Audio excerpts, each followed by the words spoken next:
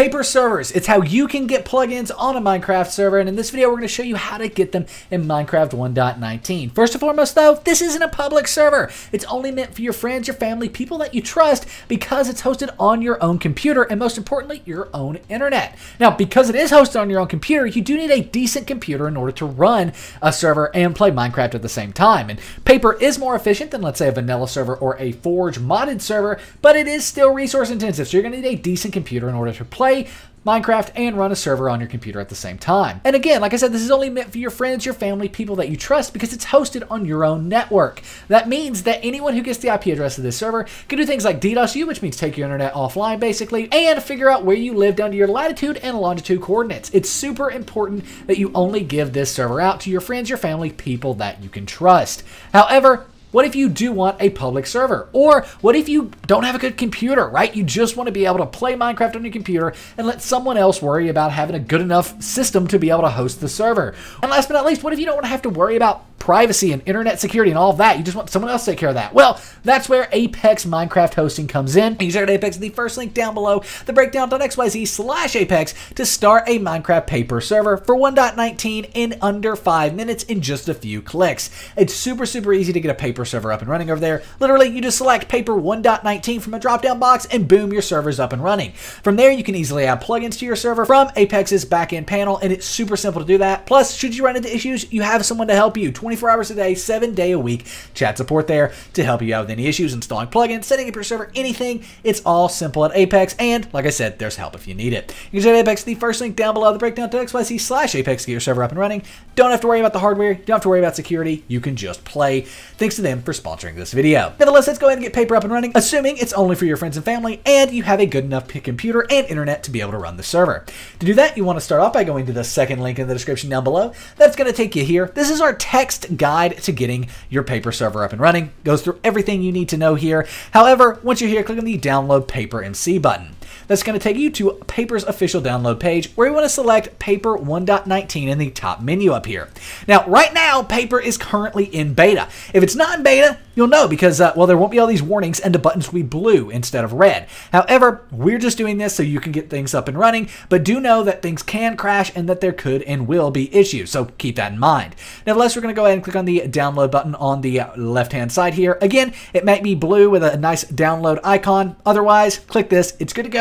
Just know that you could experience issues. Nevertheless, with paper downloaded, you may need to keep it in the bottom left or save it on Mozilla Firefox. It all just depends, but it's got paper 1.19 in the title, so it's 100% safe. Plus, this is official paper download page, so nothing to worry about there. Anyway, we can go ahead and minimize our browser now, and from here, we want to right-click on our desktop, create a new folder. We're going to call this paper 1.19 server, right like so, and boom, there you go. That's a paper server folder. Now we want to move the paper file we downloaded into this folder. Where's it at? It's in our downloads folder. To get there, click the little Windows icon, top left of my screen, probably the bottom left of your screen or bottom center of your screen on Windows 11, and then type in downloads. You have this downloads file folder here. Open this up, and in here you'll find paper 119. Drag and drop this into that paper folder on your desktop. Now, once this is in your paper folder here, you might have something that's just called paper, right? It might just look like this, paper 119. Now, whatever this looks like, what we want to do is right click and rename and make sure it's just called paper, right? Like so. Now, for you, it may just be paper or it might be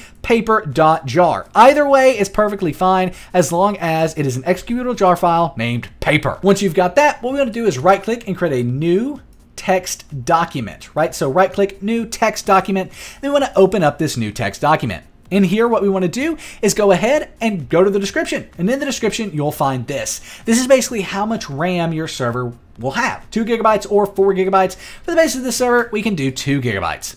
Go ahead and copy that from the description. It's in the description down below. And paste that in this new text document. Then you want to do File, Save As, and save this as a file named run.bat, exactly like so. Then you want to save the save type to all files. So the file name is run.bat and the save type is all files. Click save and boom, there we go, we have run.bat. You can actually delete the new text document to where there's only paper and run in here. Now, let's go ahead and double click on this run.bat file. And when we do that, it's going to go ahead and start the server. It's going to get things going, get things started up, but it's going to fail. As you can see, failed to load. So go ahead and Press any key to continue. Why did it do that? Because we need to agree to this file, the eula.txt. But Nick, I don't have any eula.txt. I don't have any of this. It just didn't work. It gave me some weird error. Well, in that case, what you need to do is run Java 17. Get Java 17 installed. Java 17 is required for your paper Minecraft server. So make sure you come here. It's on our website, linked in the description down below, and it's an in-depth guide to getting Java 17. It goes through everything you need to know to get Java for Minecraft. After you've got that, you may need to run the Jarfix. What this will do is take the jar files on your computer and link them back to Java, but only do that after getting Java 17. Nevertheless, we can now go ahead and minimize our browser. And once we've done that, we can agree to the eula.txt. Again, you may need to double click run.bat if this didn't generate. Nevertheless, once you've got the eula.txt here, open that up. It'll just open in Notepad, and assuming you agree to the EULA right here, which we do, go ahead and change EULA equals false to EULA equals true. TRUE exactly like that. Do file, save, and boom, we have now agreed to the Minecraft EULA. Go ahead, double click on run.bat, and now your Minecraft server is going to start. Your paper 1.19 Minecraft server is starting up. You can see it's preparing the world. It is getting things up and running. Also have a plugins folder which is awesome. Now, at this point, we can actually go ahead and join this server. You're the only person that can join this server right now, but I always recommend joining it at this point just to make sure everything is working correctly. So let me go ahead. I'm going to open up Minecraft Vanilla, latest release 1.19, and we're going to join this server. Now to join our paper server from the main menu, click multiplayer and then click direct connection. Now this is what we're going to use to join the server, the IP address of local host, exactly like that. We type that in, click join server and on the left, boom, we joined right on into the server here.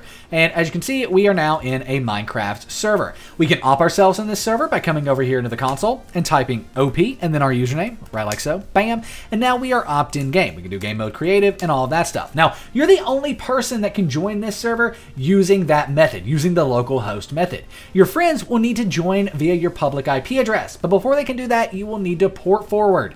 Luckily, we have an in-depth guide in the description down below on how to port forward for a Minecraft server. It's helped nearly half a million people port forward over the years, and it goes in depth going over everything you need to know to port forward for Minecraft. Once you've got that port forward done, you can get your public IP address, and your friends will be able to uh, join this server without any problems.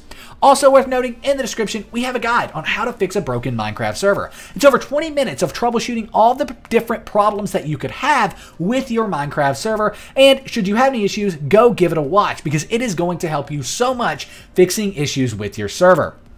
Last but not least, in the description is a complete playlist of all of our Minecraft plugin guides. And speaking of plugins, you probably want to install a plugin on your Minecraft server. Well, go ahead and check out the video on your screen right now, which is going to show you exactly how to get plugins on your Minecraft server now that it is set up. We're going to throw how to download plugins, where to download them from, where it's trusted, and all of that stuff, and even showing you how to get config files and see what plugins are active once you're in game. It's all covered in that video, so check it out on your screen right now. Nevertheless, my name is Nick. Thank you so much for watching. If you enjoyed the video, give it a thumbs up, and we'll see you in the next one.